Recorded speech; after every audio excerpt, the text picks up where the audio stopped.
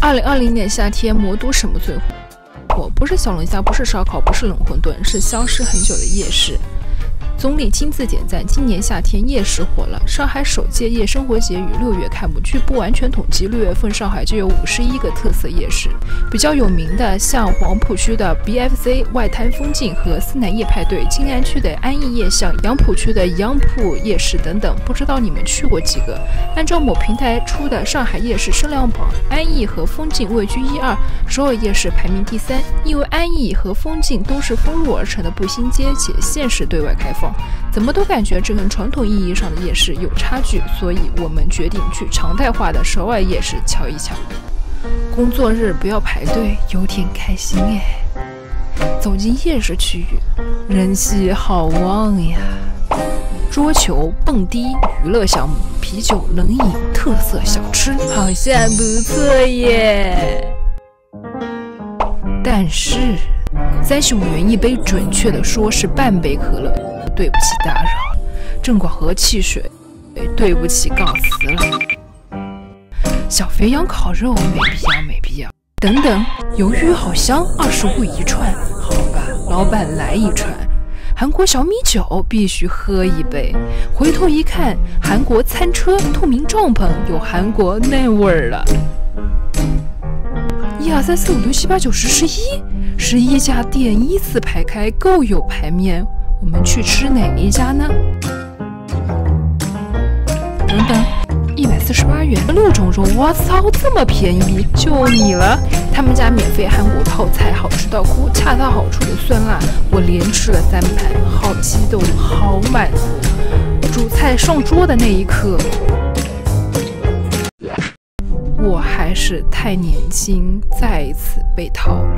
哎，这个迷你的分量确定不是儿童餐吗？烤肉、猪肉都是熟的，您写清楚，您只烤牛肉呀。如果万一烤肉跟泡菜一样好吃呢？那也不亏。结果，残酷的现实把我那一点点幻想都粉碎了。牛肉老到怀疑人生，完全不能单吃，泼着生菜还能缓解一下硬邦邦的口感。猪肉马马虎虎，完全 get 不到烤肉的乐趣。大酱汤平淡无奇，就辣炒年糕，年糕筋道入味还不错。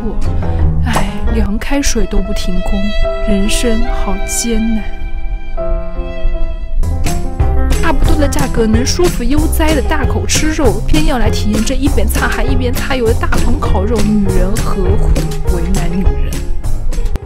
夜市最吸引人的地方是它的接地气。夜市的接地气在于流动摊贩或者大排档卖着天南地北的食物，没啥环境可言，吃的就是这平滑无实且价格便宜的食物，逛的就是这花一点点钱就能得到的小确幸。平滑无实的夜市就是生活，跟菜市场一样，叫卖的摊主、熙攘的人群，让漂泊在这个城市中的夜行者感觉没那么孤独。韩国夜市招周边商场里的餐饮店换成餐车形式，走向户外就接地气了。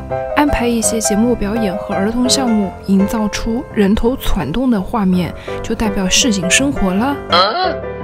城市面貌的干净整洁、整齐划一，只是文明城市的基础表层。一个城市最主要的面貌，体现在这个城市每个活生生的人身上。衡量一个城市文明的尺度，在于它对人，特别是对弱势群体的态度。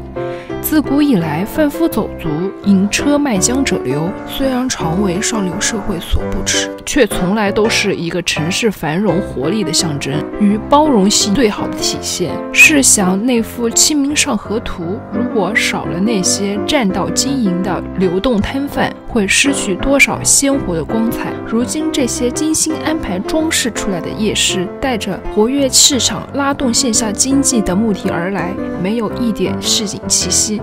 叫它午夜地推更为合适。我是无辣不欢的山顶丸子，希望你们喜欢这一期特别的视频。